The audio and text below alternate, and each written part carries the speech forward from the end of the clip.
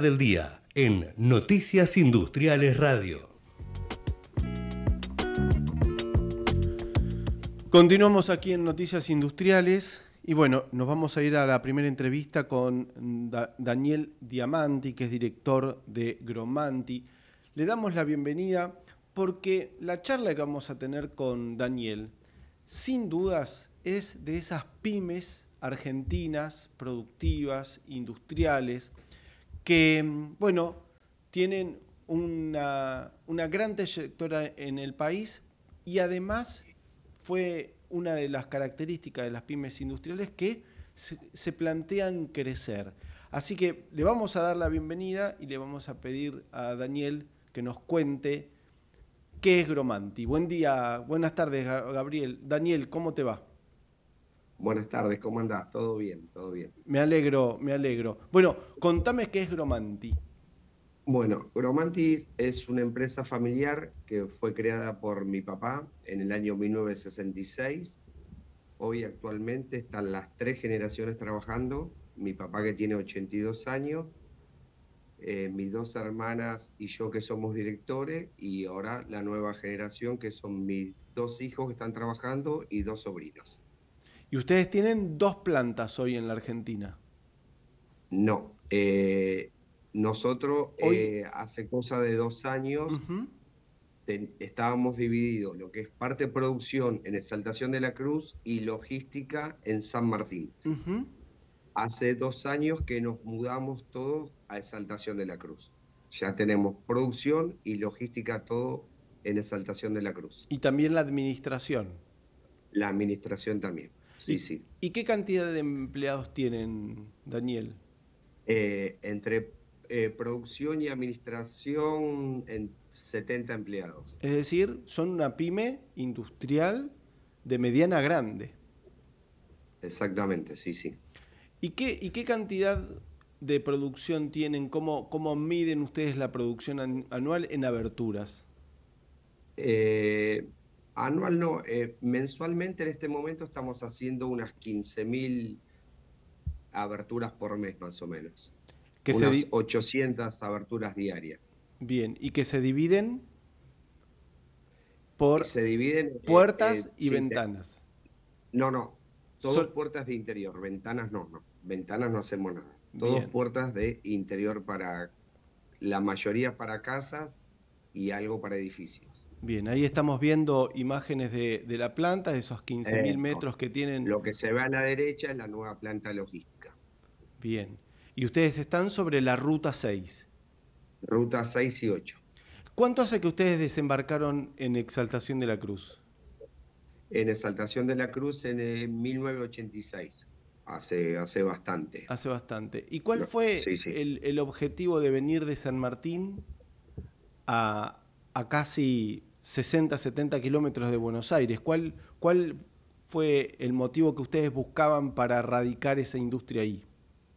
Y el, objetivo era que nosotros allá en San Martín ya prácticamente no nos podíamos agrandar más y ya teníamos problemas, eh, lo que es parte industrial, así carpintería, ya en esa zona ya, ya no podía prácticamente trabajar más. Entonces decidimos venir acá y año a año nos fuimos agrandando, fuimos haciendo una nave, otra nave, nos fuimos agrandando hasta que hará cosa de dos años, pasamos también la parte administrativa.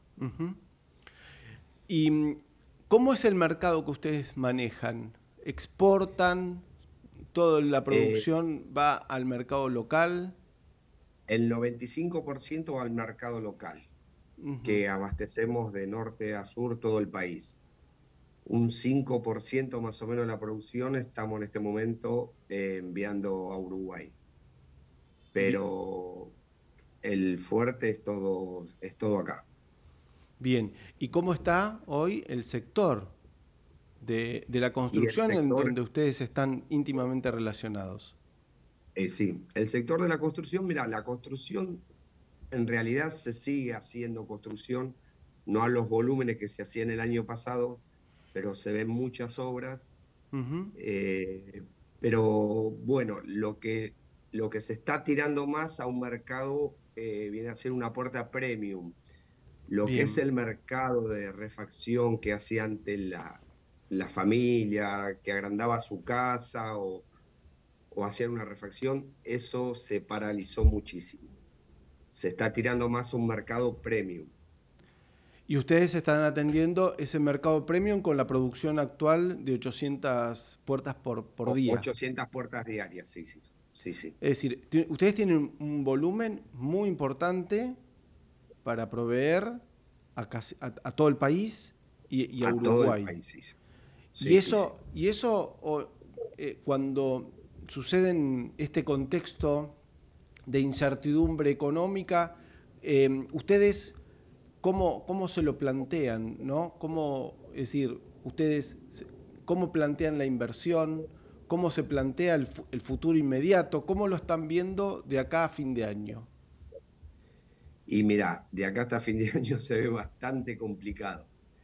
Pero bueno, eh, seguimos produciendo, almacenamos mercadería, stock, pensando en una pronta reactivación. Bien. Y, ese contexto que ustedes tienen en, este, en, este rubro, que es sumamente importante, ¿no? desde el punto de vista de la cantidad de unidades que hacen por día y también por mes, pensaba cómo es el plan para incorporar tecnología. Lo están planteando, se, están incorporando tecnología, las, son, las inversiones que están pensando que han hecho son grandes, son pequeñas, la tecnología se puede adaptar a, las líneas de producciones de ustedes? Sí, sí, mira, eh, hace dos años eh, invertimos en una línea nueva, que es que una línea que folea las puertas en PVC, se le aplica a la puerta de madera, se le aplica una lámina de, de PVC de distintos tipos de colores eso lo hicimos hace dos años. Es una, una puerta de libre mantenimiento y que se coloca en seco en la obra. Se coloca con poliuretano inyectado. no, es, no es una puerta, la puerta tradicional esa que va murada, con cemento, no. Es una puerta de libre mantenimiento. Eso fue todas cosas que trajimos ideas de los viajes que, que hacemos afuera, Europa, ¿no? ¿Y, ese, y, esa, ese nuevo producto cómo viene funcionando en el mercado? Y cuesta, cuesta, cuesta ponerlo en el mercado porque acá estamos acostumbrados a otro tipo de construcción, no a la construcción en seco. Claro. Pero vemos que mes a mes cada vez se incorpora más en el mercado. el argentino está acostumbrado al ladrillo, ¿no? Exactamente. y ahora la nueva construcción que se viene es en seco, donde los... Claro, es más Durlock y después las puertas estas en Europa, Estados Unidos, se acostumbra la colocación cuando ya la casa está terminada. Ya tiene su piso, su alfombra, pintada, todo, ahí va y se coloca la puerta en seco.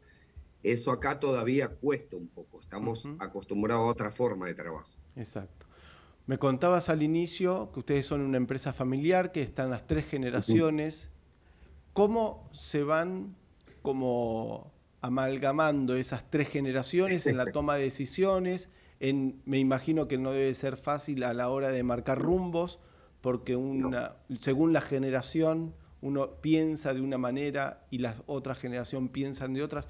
¿Cómo están planteando esta eh, unificar esos criterios de visiones tan distintas de, de juventud, de, personas que ya tienen su experiencia y llevar una, sin duda la empresa adelante.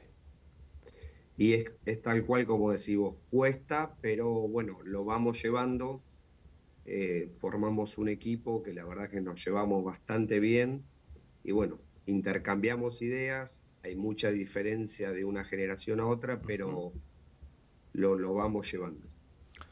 Daniel, te queremos agradecer muchísimo este contacto. Para nosotros es un gusto conocer de, adentro a las pymes, principalmente las pymes industriales, saber cómo trabajan, cómo piensan, cómo planifican, cómo generan productos y cómo apuestan al país. Así que te queremos agradecer muchísimo, Daniel.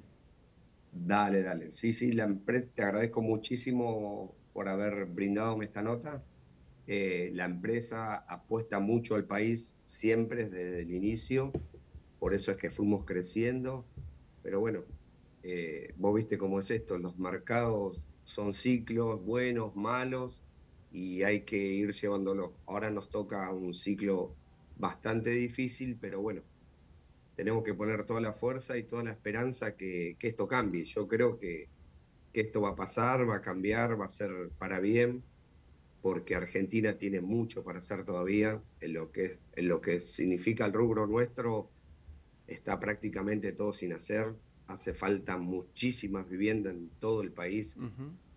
Y bueno, yo pienso que en algún momento, cuando se enderece todo esto, cuando se preocupen un poco más por la gente, liberen créditos para la vivienda, que ayuden un poco más a la gente, yo creo que eso va a venir.